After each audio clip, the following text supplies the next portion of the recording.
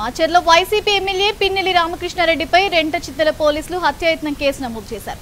AP assembly ఎన్నికల polling సందర్భంగా ఈ నెల పదమూడున పాల్వాయి గేట్లోని పోలింగ్ కేంద్రంలో ఈవీఎంను పిన్నెల్లి ధ్వంసం చేస్తుండగా టీడీపీ ఏజెంట్ నంబూరి శేషగిరిరావు అడ్డుకున్నారు. అయితే ఈ సందర్భంగా పిన్నెల్లి తనపై దాడి చేసినట్లు నంబూరి పోలీసులకు ఫిర్యాదు చేశారు.